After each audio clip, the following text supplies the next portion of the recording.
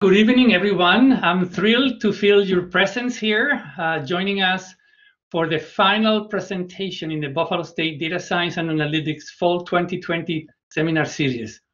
I'm Joaquin Carbonara, the chair of the DSA program, and I'm pleased to introduce today's speaker, my friend Kirk McLean. Kirk is the first director of Open Data Buffalo, the city's first open data portal, which currently ranks fourth in the nation on the US City Open Data Census. He is the recipient of the 2018 New York State Department of State's Trailblazer Award in recognition of innovative service delivery for his work on open data. Kirk has been working in City Hall for the past 10 years and received his master's degree in urban and regional planning from the University of Buffalo. One of Kirk's main goals is to increase the use of data-driven decision-making within City Hall and increase the data literacy of all Buffalonians. Today, Kirk will be talking about navigating Open Data Buffalo. So thanks for joining us today, Kirk. You can start whenever you're ready. Hello, everyone. My name is Kirk McLean. I'm the Director of Open Data for the City of Buffalo. I work in the Department of Management Information Systems. That's the city's IT department. And if you wanted to email me about anything open data related or otherwise, you can email me at opendatabuffalo at city-buffalo.com. I'd like to start off these talks just kind of going over what, what, what I think is open data, why I think it's important, and then kind of place Buffalo in the historical context of the modern open data movement. And then um, hoping to have plenty of time to navigate the open data portal and um, make sure that everyone is familiar and comfortable with what the city of Buffalo is offering in terms of the open data program. Open data, there's there's many, many different definitions of open data, but the one that I've used and I think is kind of uh, all encompassing is open data is data that can be freely used, reused, and redistributed by anyone. Our open data policy defines open data as publishable city data and data sets that are available online in a freely accessible format. And open data is a common good that is owned by everyone and that is easily accessible in machine readable formats. So why why is open data important? It can show it can show how the city is spending our taxpayer money and providing services. One way the city uses performance management. We can see how city departments are performing in their duties. One one example is a city issuing more building permits this year compared to last year. Um, building permits are kind of a barometer of how uh, development is progressing throughout the city. We can see if there's very expensive building permits going on in certain areas of the city, multiple permits, um, we can assume that development is increasing in those areas of the city. And then conversely, we can potentially see where development isn't happening as organically, and maybe that's where we want to put some resources or or some incentives for developers to uh, develop in that area. And that data and that information is very valuable as to how we organize our work and how we push forward on, on revitalizing the city. Um, it, it can also lead to operational improvements and resource allocation, can show us what is and isn't working at City Hall, an example is the 311 service requests. Um, when you call the city of Buffalo and ask for a service to be fulfilled, is that being fulfilled in a timely manner? One recent example during the pandemic we noticed was that recycling wasn't being picked up on time, and we could see that in a number of complaints coming into City Hall right after the pandemic hit, with within like the month after um, everywhere closed down in mid March and uh, what that that led to a conversation with our recycling contractor to um, you know boost the level of service that was being provided and i i haven't i haven't noticed that uptick anymore. So that led to us being able to improve the operations of that particular service. Another obviously very interesting for you as data science students and, and faculty is the analytics research component um, can shed light on all sorts of trends that tell a story about what's going on in any specific area or region of the city. Um, an example is that uh, data can show that X council district request city services at a higher rate than Y council district. what's really interesting about service requests is sometimes not where or who's requesting, but who isn't requesting. So we can see maybe where there's gaps in service or people aren't as likely to call, even though we know that there are areas of the city that might really need um, more city services. So um, uh, data can really highlight areas of the city where we might need to, to put more resources. And then also very useful for innovation. Um, open data can be leveraged to create apps. An example is our tree inventory data could potentially be used to build a smartphone app that teaches students about the benefit of urban trees. And uh, if we have time, I'll share the tree inventory data. There's uh, it's a very rich data set. Key concept is that open data fosters collaboration and, and empowerment and accelerates and multiplies transparency, accountability, performance, operational improvements, research, and innovation because it's openly available for everyone to leverage. You can go in on our open data site, buffalony.gov, and start using any and all of the data we make available at no cost. And that, that just kind of creates uh, a ripple effect in, in how um, important and useful that data can be. The old adage, many hands make light work, is, is very relevant um, in terms of open data and its, its power a very brief history of the modern open data movement. I don't want to go into too much detail, but the mo- the modern open data movement is is roughly 12 to 13 years old, uh, not not very old at all.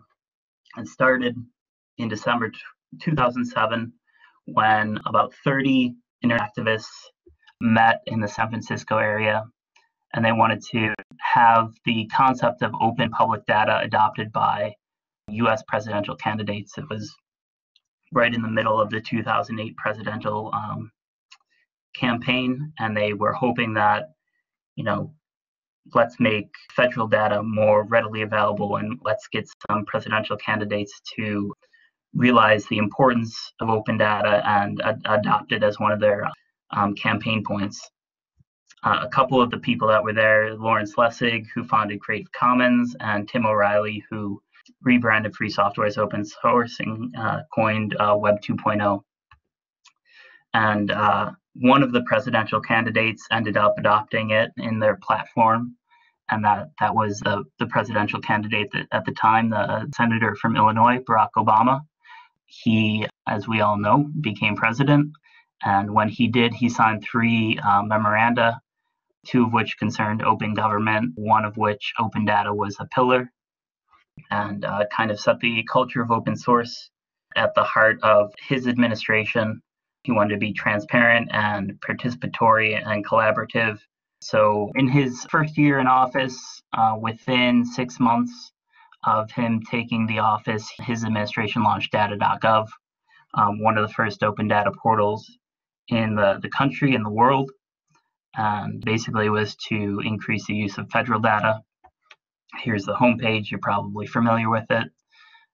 And then about four years later, New York State did the same. Governor Andrew Cuomo uh, released an executive order saying that um, let's let's release our data as well, and they launched data data.ny.gov. Here's their uh, homepage for the Open Data Portal. And then Buffalo's open data journey started about three years after that, about seven years after the data.gov launched. Uh, Bloomberg Philanthropy started an initiative called What Works Cities. They realized that a lot of mid sized American cities, like the city of Buffalo, were not opening their data like the federal government and state governments and large cities were. They realized that uh, a lot of mid sized cities didn't have the capacity to start thinking about data or have the resources to um, build an open data program on their own. So they they started this initiative called What Works Cities to help accelerate the use of data and evidence um, within mid-sized cities. So we signed an MOU with them in May 2016, and our engagement started in July 2016, and they brought consultants to bear to help the city of Buffalo formulate an open data program. Um, experts from the Sunlight Foundation, Johns Hopkins University, and uh, an organization called Results for America, and they helped us build our open data program from scratch. So uh, part of that work was all department heads appointed data liaison um, in January 2017. Um, we drafted an open data policy and published it online for public comments. We got a lot of great comments that helped the, the policy become stronger. In uh, February 2017, we released an RFP for uh, open data portal software. July 2017, we we selected a vendor, Socrata, um, who is one of the preeminent open data portal providers across the world. New York State also is a Socrata uh, customer. So we were very happy to uh, that they responded to the RFP and we were able to secure a partnership with them. The policy was signed uh, in August 2017 by the mayor, and uh, we started implementing the software. In February 2018, the portal launched data, uh, data.buffalony.gov. So since the Open Data Portal went live about two and a half years ago, um, we've released over 30 open data sets. We've released over 30 of our geospatial assets. We've federated with the state's open data portal, which means all of the state's data from their open data portal is also searchable on our open data catalog. So if you were to type something that you thought would be on our open data portal. Maybe it's on the states like um, uh, licensed automotive businesses licensed by the DMV. That is a state data set, but you'll be able to find it on our portal as well. We participated in the first Upstate Data Summit. Um, we received uh, an award from the New York State Department of State. We've held two civic innovation challenges and partnered with AT&T to award prize money to local civic innovators. And uh, as Joaquin mentioned earlier, we, we're currently sitting at fourth place on the US City Open Data Census, which is a crowdsourced way to see how open cities are with their um, with their data. I think we're behind San Francisco, Cincinnati, and Las Vegas, and I believe Los Angeles is up there too. So that's a slideshow, and I wanted to now I wanted to just jump right into the Open Data Portal, um, which is data.buffalony.gov. So obviously you got a header bar here with all sorts of information, how to jump into uh, different different data and different visualizations we've built, um, some information about the Open Data Portal. And here we've got some hot buttons so if you wanted to jump right into city data or the geospatial data, or you wanted to look at, uh, we have some stuff specifically related to council districts or neighborhoods. Um, some some quick ways to get into the data. Uh, this is probably useful for data scientists. A link to uh, Socrata's information for developers. Um, a quick FAQ about the Open Data Portal. Welcome from the mayor. Here's our policy. Here's a link to the open data census. So the the the most the most important part of the the open data portal is the data catalog. That is where all the all the data sets live, all the visualizations, all the filtered data sets, um, any data stories we've built, they all live on this open data catalog, which is very searchable by um, any number of tags or departments. So any information you're looking for um, is, is searchable and things will start to pop up. If we were interested in 311 service requests, we can search for that. Um, so we've got 23 results and then uh, over here on the right, uh, you can see what type of asset is it, it is. So uh, the first one that popped up is the data set. We also have things called data lenses that uh, we can get into. Someone spun up a map of open rodent 311 service requests by council district. Um, here, where it says community, anyone that has an account, any uh, any resident or some anyone that has created a profile can create their own visualizations or create their own filtered data sets and share them back onto the catalog. So maybe um, maybe people are interested in in this. They're they're sharing that back out with the the entire community. Here we've got some filtered views. Um, so someone just wanted to look at 311 service requests with lead paint inspection as a type. Um, we, we have charts, etc. On the left-hand side, you can filter. You can filter by category. You can filter by the, the type of asset it is. If it's a data set or visualization or map, you could you could filter by department. So if you were looking for a specific department's data, what they have available, you can um, search by department. You can search by any number of tags. And then um, if you wanted to, you could search just the state's data or the city's data by coming down here and going to the federated domains. And then uh, here, there's just a you know a quick description so you know what what the data set's all about um, before you jump into it. So let's click into 311 service requests. And then here we land on what Data calls a primer page, uh, which is essentially uh, the metadata page, the data about the data, um, the information about the data set. So um, here you can jump into creating a visualization. Um, if you have access to uh, third-party analytical tools like a Carto or a Plotly, um, you can open it directly into those or Power BI, Plot or R, Tableau. Instructions about uh, how to how to get right into those. If you wanted to, you could export the information in any number of different ways. Um, CSVs, TSV, RDF, XML, RSS. Um, every data set has Socrata's uh, API attached to it. So you could pull it into any number of different softwares that you need um, to analyze and uh, extract the value out of that data set that, that you're looking for. Um, then uh, just here, if you wanted to share this on social media or contact the owner of the data set or comment on the data set, you could do that as well. Quick description of the data set.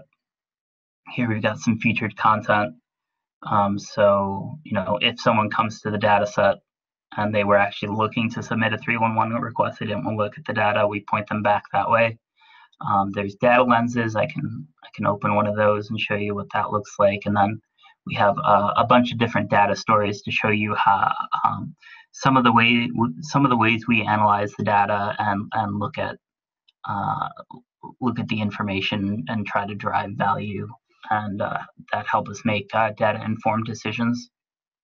And then all just a ton of information about the data set. Um, when it was last updated, um, most of our large most of our large data sets are updated daily through an automation process that runs overnight. So if you were to make a 311 service request today, if you woke up tomorrow morning and looked at this data set, you would see your service request in the data set. And then you can see the status is open. And then when the the service is fulfilled, you can see that status uh, change to closed. This data set goes back to the year 2008. So it's a, a pretty large uh, data set that gives you a lot of information about what's going on uh, over the years um, how often we update it, if it's automated, uh, the source system um, coming from the City of Buffalo um, Division of Citizen Services. Um, here we try to provide any limitations that the data might have. Um, so this one, um, uh, data is provided as is. A request is just a request investigate issue. And when we go out, there might not actually be a, a, a valid problem or actionable issue at that location. Um, so, you know, someone could go out and say, "Oh, the garbage was not my garbage wasn't picked up." By the time it, we go out to investigate, it might be uh, picked up. So, uh, not always a valid service request, and uh, we just wanted to let people know uh, the limitations that way. Um, if there's a legal dis- um, the legal disclaimer associated with the data, any notes about uh, anything regarding the data will be down here. So uh, what open status means, what closed status means, um, any associated tags, um, what the license is. Um, all of our data is in the public domain. Uh, so free, free to use for anyone, however they want to use it. The, the data set itself has 829,000 rows. So since 2008, there's been 829,000 roughly 311 service requests. Um, there's 26 columns in the data set. Each row is a service request. And then here we've got all the columns. Uh, all, all those 26 columns are right here. So you can see what they are before you jump into the actual data set. And then um, we do our best to provide a very um, accurate uh, description of every column. So you're not just getting some weird column name uh, and you don't know what you know what case reference means. We try to tell you what case reference means, and we do that for every every single column in the data set. And then here is a quick, uh, just a quick table preview of the data. So you can take a look at the preview, um, or you could click view data and uh, jump right into the data. So if we do that, it takes us to the main table grid view. Um, here again, you can export. Um, you could filter if you wanted before you exported, so you don't want to export the entire 829,000 uh, row data set for whatever reason, or you wanted to do some quick analysis before you pulled it into uh, a different analytical tool. So you could do, you know, status, status is open. And now we just have uh, 26, roughly 2,700 cases that are open. Um, if we wanted to do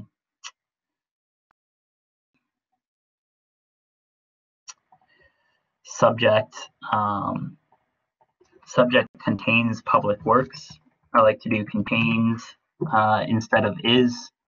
Um, because sometimes uh, public, it might say public works or it might say Department of Public Works. Um, so that, that roughly 2,700 uh, becomes 1,800. So the vast, the vast majority of uh, service requests are going to the Department of Public Works that handles streets, sanitation, animal control, um, et cetera, et cetera. A very large department that handles um, a lot of the public spaces in the city of Buffalo. And then if you wanted to, you could um, you could you could export that that filter. Um, here, uh, I'll launch the the visualization builder in a second, but um, you're able to quickly build um, graphs, charts, and and maps very quickly with the uh, native uh, visualization builder on the portal.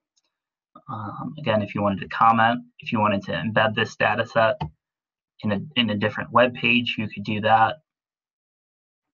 Um, so uh, real quick, if we go to the visualization builder, uh, a, a, real quick aside, you could, if you sign in and create a profile, I'm going to show you that real quick. All you need is an email address, a quick display name, and a password, and you have uh, you have a profile. You can save all your filter views. You can save all any visualizations you make, and they save right to your profile. So when you come back and log in, you need access to that data uh, or that that filtered view or those visualizations. They're they're there right on your um, uh, profile. I'm just going to say no thanks right now. So uh, up here, there's just all sorts of, if you want a bar chart, a column chart, or a pie chart, timeline, or a map, etc. So I, I just want to do a pie chart real quick as a demonstration. So you, you choose your dimension. Maybe you just want to do what the status is.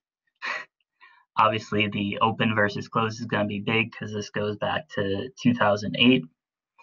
Um, but what I can do is start to, um, up here in the upper right, I can start to filter that information. So maybe I just want to look at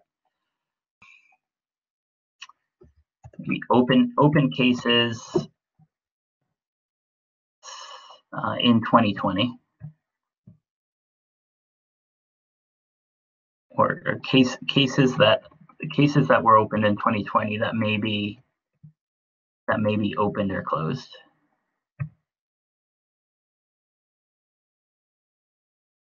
So, you know, uh, very quickly, you get your pie chart. 62,000 cases were opened and then subsequently closed, and the, the, the roughly 2,600 that are still currently open.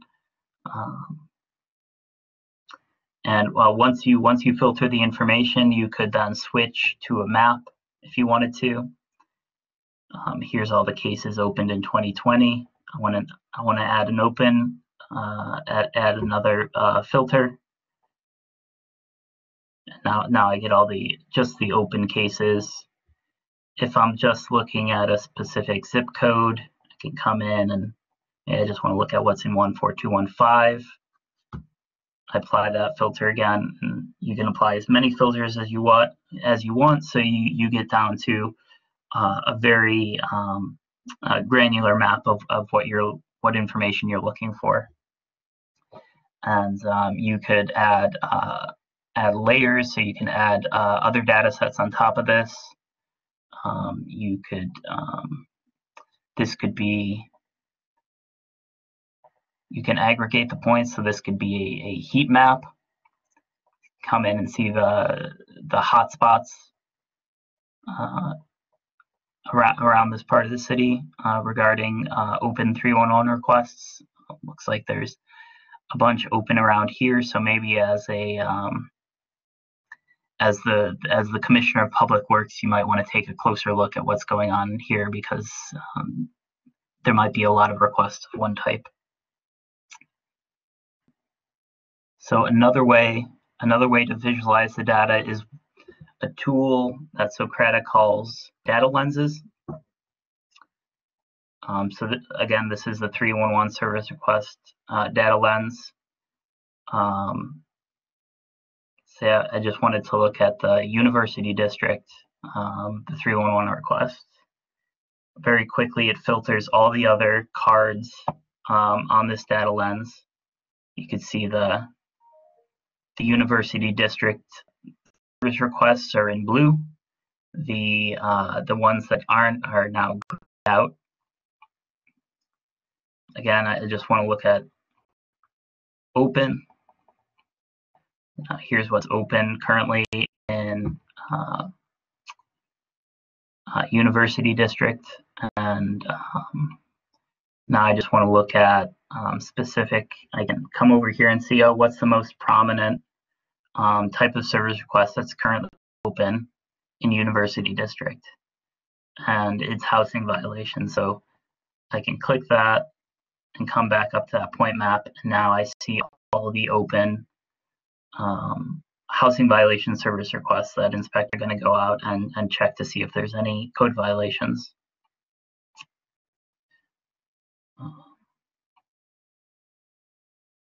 And then maybe I just want to look at ones that were open in this year so far. And then uh, again, it filters down there. And then uh, you could you could export that filtered view and download that and uh, put it into whatever analytical tool you want. You could also uh, utilize the API. Um, another another thing we make available for people is we build visualizations for the public to to to see how things are going across the city. So um, here's open service requests. Um, these um, these visualizations that we built, anyone can go in and look at are also filterable. So if you wanted to just look at, um, uh, tote replacement requests. You could go in and filter that. And these are all the, the places where people want a new garbage tote. Uh, again, you could filter just down to uh, a specific uh, council district. Um, here we do some uh, density maps of uh, service requests that are open by council district or uh, census tract. Here's a here's a timeline chart showing um, service requests by month. Obviously, November uh, is only uh, a third of the way through, so that you're going to see a drop there. But you can see, you know, over the um, when the pandemic hit, what type of effect did that have on service requests, if any? Um, here's a here's a the top five uh, the top five cases uh, month over month as a timeline chart. Um, the most popular service requests in a given year, um, the most uh, the types of requests um, requested by council district. So you can, if you're interested in uh, looking council district by council district and what's the most popular ones in each one of those, you can see that. Here's a couple maps of housing violation complaints and tote replacement requests. So um, as much information is on the data set, you could really slice and dice it a, a ton of different ways. Are uh, the data sets we have on the portal are very, very robust. Um, um, I mentioned the tree inventory, which is a very interesting data set.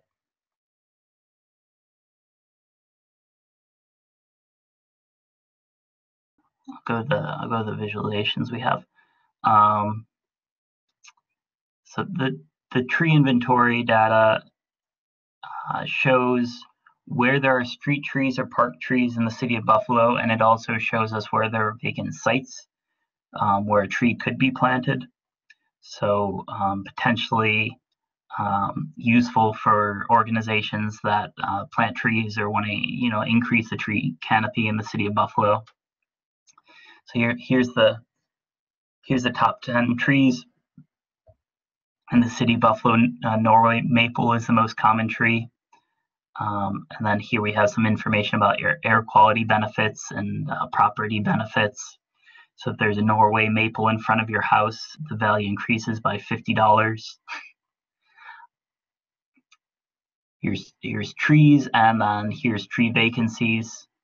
So you can see which council districts there's the most um, most spaces on the street where a tree could be planted. So you might want to focus your efforts in a certain area of the city. Here we have trees, the, the tree species by how uh, how how big the the trunks of the trees are and um, by the leaf surface area. So you can see, you know, which which trees in the city will have the most leaf surface area by um, by species. Um, here, um, we, we show a quick map of the largest trees with the most shade based on leaf surface area. So, you know, if you're having, you know, having a picnic at Delaware Park, you might want to, uh, on a sunny day, you might want to sit under one of these trees.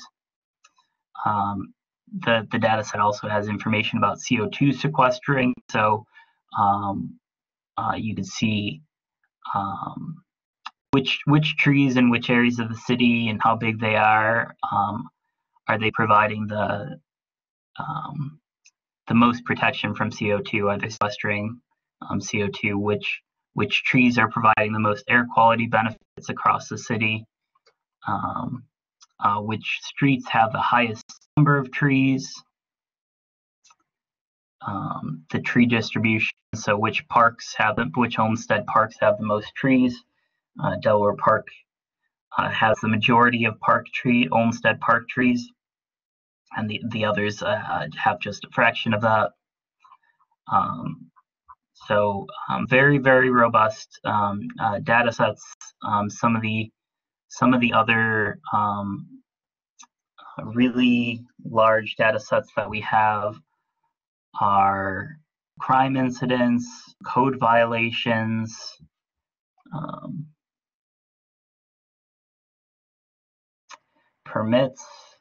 We have the assessment rolls, so parcel information about every every parcel in the city of Buffalo, um, traffic volume counts across the city, um, uh, parking summonses. So if you've ever gotten a parking ticket in the city of Buffalo, um, it will probably be in that data set. Um, uh, vehicle tows, where the city tows to the auto impound. Um, the rental registry, every landlord is supposed to register with the city of Buffalo. Um, so we have a good handle on where the, the rental properties are uh, in the city.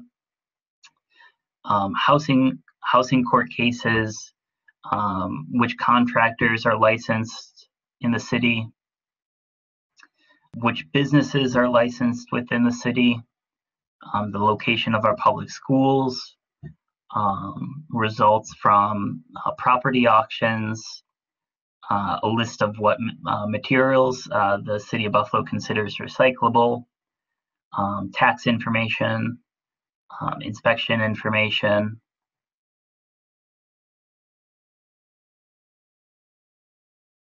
Um, uh, historic local landmarks is is one of our new uh, newest data sets. So if we we go into that, the um, the city of uh, the the city's common council designates historic local landmarks. So um, here's just a, a, relatively small data set of all those, so you can see the distribution of those across the city of Buffalo um, as as much as possible, we try to geocode all of our data sets. The um, the uh, the databases that they're coming out of, the SQL databases, there there might only be an associated address based on how the information is what uh, was collected. And when we present that to the the public, we we geocode that so you have that that rich geographic coordinate information attached to that. So um, you can build maps for, for pretty much all of our major data sets. Here you can see, uh, you start to see some state data. So the city uh, doesn't compile information about lottery numbers, but the state does. It's a very popular data set for the, uh, the, state. Um, there's uh, some uh, New York State attorney registrations, um, uh, the liquor authority's list of active licenses. So, so, so, so much information um, that we've made available. Um, we continue to try to identify data sets, uh, working with the, the different departments that we think would be of, val- value to the public. If you're looking for data and you don't see it, you can suggest a data set there's a couple of uh, new data sets that are coming down the pipeline. We are working to get planning board, preservation board, zoning board approvals um, as a data set onto the open data portal. You can obviously go to the common council proceedings and see what's what's been approved uh, by the planning board or the preservation board, but we're we're also going to make that information available so it's it's much easier to analyze because it's in a machine readable format and not just in a uh, a PDF of Common Council proceedings. That's a lot of information. That's there's there's so much so much more. Um, so yeah, I'm, I'm I guess I'm interested in uh, hearing some questions and what uh, what people think and and any any comments or suggestions for data Thanks, Kirk. A big, a big round of applause for the first part of the event, your presentation. Thanks so much. And uh, um, next, we proceed to hear some questions and a discussion. And uh, so the first question is on the chat box. is from Joe Trapp. He said, how will the change in the census tracts and council district, district post-2020 census affect these data sets? Yeah, so I think we, we still have to decide how we're going to go about that. Obviously, changes in the changes in the census tracts and the council districts based on the, the reapportionment, the, the 2020 census are going to potentially affect um, where some of these data points are located and whether we say they're in, you know, uh, Masten district or University district.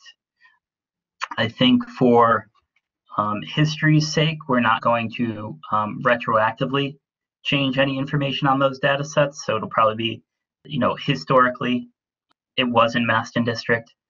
But um, moving forward, we're probably going to re re obviously upload those new geospatial assets for the new um, district boundaries and change our automation transformations to reflect it. So it's 2022 and someone uh, has a 311 service request and the district changed from Masten to university, it's going to say university moving forward. Great, thanks. Yep. Yes, uh, Vijay is asking, how does 311 service request calls works? Do you use any CRM software to track? Yes. So 311, you you you pick up a phone and dial 311, and you get a, a City of Buffalo um, call-in re- resolution center clerk. They'll take your call. You can also there's also some options online on the city's website to um, submit a service request. But if there's an issue you have in the city of Buffalo and you think the city has a hand in resolving it, you can call and you know there's tons of different service requests by a whole bunch of different departments. So if there's a say there's a dilapidated property next to your house and you want an inspector to come out, you can request that. Um, if there's a pothole in the middle of the street, you can have someone come out and fill it. If there's an abandoned vehicle in your area, you can have the city come tow it. If there's an outbreak of rodents in your area, you can have animal control come out and bait it. If there's a a dead animal in the street, you can animal control come out and remove it. On and on and on. Tons of issues that arise in in cities all the time, and it's basically a non-emergency line. The um, CRM software we use is um, called Lagan, which is owned by a company called Verint. And when when a call comes in, the uh, the call taker basically inputs that all that information as they take the call and then it's automatically routed to the appropriate department's queue. Great, thanks. And actually, a quick question. Uh, the, the data for Buffalo is not Erie County, it's just the city of Buffalo. I mean, most I, I saw you, you were going over different data sets, but can yes. you tell a little bit about the reach of your of your office? So, because most of the data coming from our source systems pertains to the work of city departments, it is going to be limited to city boundaries, but there is plenty of data on there that impacts Erie County as, as well from the, the state level. So if you go to the state data or the state data stories, um, you'll see we've it's not it's not perfect to the city of Buffalo because um, a lot of times it's zip code based, um, but you'll you'll be able to see stuff that impacts um, Erie County as well on those state state level data sets.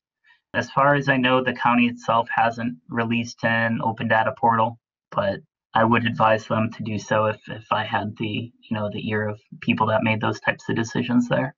Yep.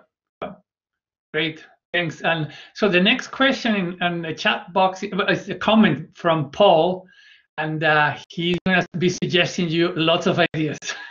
Not unless you want to, uh, Paul, unless you have some in particular that you want to, to say? Now, Dunkirk actually is a city that I, I've met some of the, uh, the people working in the in the city office, and they are very interested in in improving their online data and so on. Curiously enough, there is another. Uh, Heather has a question.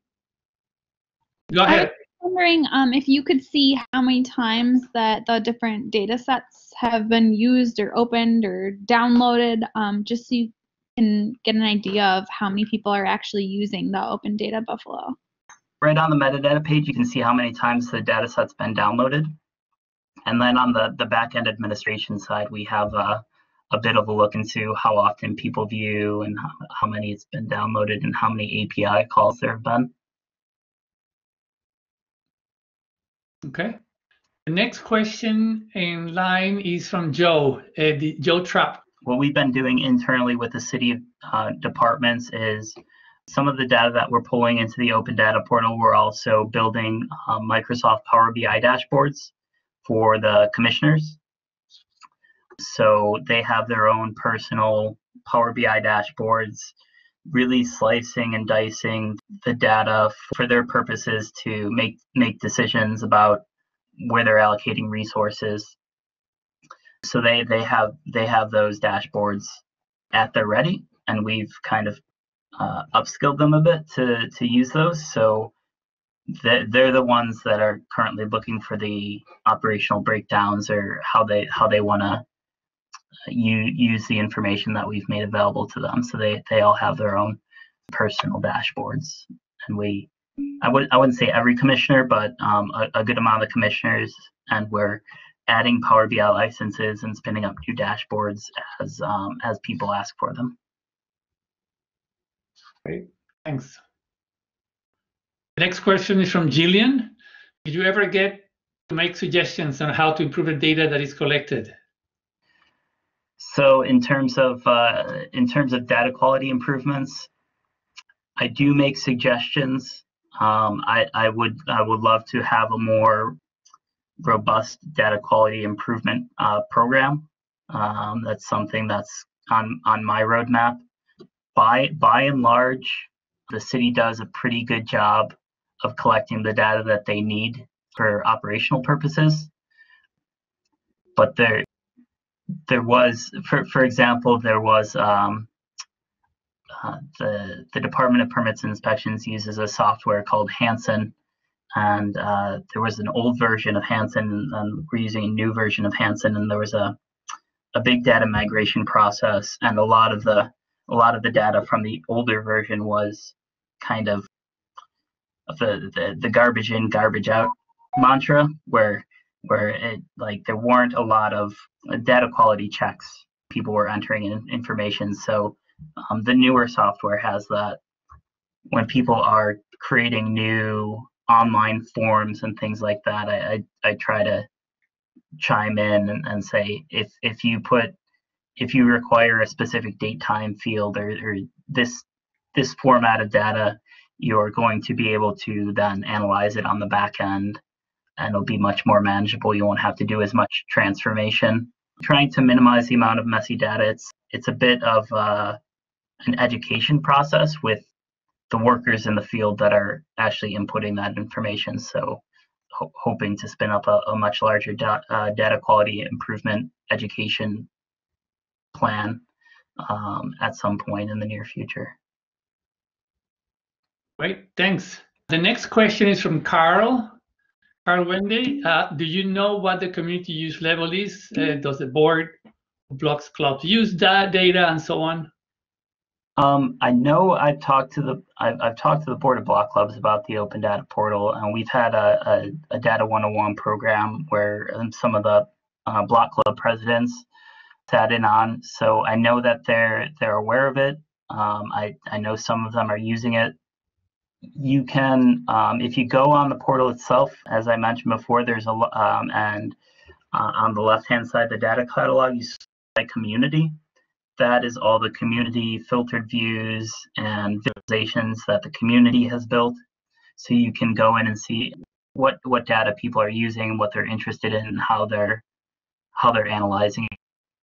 I do know anecdotally organizations like the Community Foundation are using it to try to target tenants and landlords that might be renting or own, or own houses that have um, lead paint in them and doing their uh, uh targeting their outreach based on the the information on the open data portal looking at like pre 1970 buildings and you know kind kind of creating uh, a profile of the the most the most likely properties that have lead paint in them yeah, a good amount of examples of people using data. Fantastic, thanks. Uh, the next question is uh, from Ashley, right? How do we improve our searches for collecting data? How do we improve our searches? And I, I assume that some of the questions that, that people may be asking is should they use an API or should they just download the CSV? I mean, what, what do you recommend is the best way to go about collecting the data? I'm not sure if Ashley is oh. asking that, but that could be oh. one, one aspect. But to Joaquin's point, um, if you're pulling the API into your a- analytical tools, that's going to, when we automate daily or update the, the data, that's going to obviously um, update on your end as well. I, I wouldn't, I probably wouldn't recommend unless you're looking at like a historical view. But if you wanted a, a real time or more up to date view, I would definitely use the API. Yeah, that makes sense. And uh, and there and there are uh, clear uh, instructions and tutorials on how to do that API on on the website, right? Yes. Yep. If you go to the for developers section, there's there's a bunch of different ways to to get more information about how that API works. Yep. Great. Um, Paul has another comment. You said earlier that you you were a Microsoft shop. Since Dunkirk is in some financial uphill battle right now, is there any open source software? So the the Open Data Portal itself isn't uh, a Microsoft platform. It is a, a company called Socrata that was purchased by a larger company called Tyler Tech. But in, so I, I, think you're asking in terms of open data software, is there any open so, uh, or open source or free? And uh, there are a couple. The most popular one is called CKAN, C-K-A-N, uh, basically a free open data portal, and you, and you can push your information to that if you were uh, a, a cash-strapped municipality. We decided to go with Socrata because of all the, the rich the, the visualization builder and how easy and intuitive it was to use and we we uh, figured that the public would uh, much rather have that that, ability and uh, that has come to fruition by how often we see people using it so there is one comment by carl and then a question by joe so Carl says, thanks. I think the more use that occurs, the better the public can understand and use the data. It also helps making data better. Absolutely. Um, absolutely. No, no question about it. And Joe Trapp's comment is follow up on Jillian's question. Would it be helpful for you to have FOIL's file FOIL requests to drive city datasets to the open data portal? And you also talk a bit more about the process of getting sets onto the portal. I know there is a suggestion page, but I haven't found a way to view pending requests. The open suggestions section doesn't show any of the recent requests. I know there have been some. I know that some municipalities have a process where they automatically, I think New York City has this, they automatically review uh, FOIL requests and for, for inclusion on the open data portal. I've, I've worked with our FOIL officer in the city of Buffalo to let us know if there's any uh, frequent FOIL requests that they're getting to work with their department to get the information on the open data portal. It would be helpful, I think.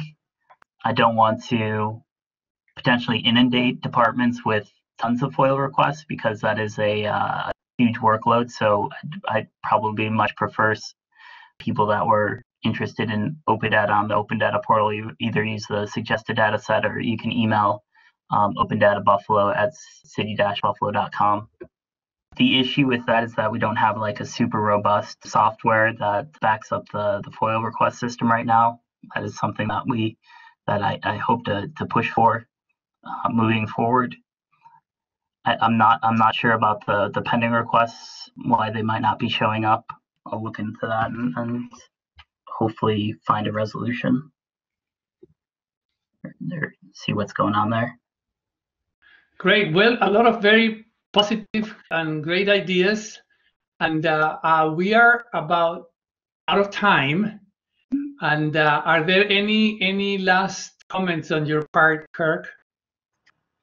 Obviously, it's an open data portal, so feel free to use the information however you want in your research projects, in your in your work, and have fun. And hope Joaquin shares some of your uh, some of your work with me if you decide to use the data on our portal. Absolutely, we will. So one last then round of applause. Thanks so much, and it was a pleasure to to have you do our last presentation for the fall semester. We'll see everybody again during the spring. Have a great rest of the day and the week. Enjoy the beautiful weather.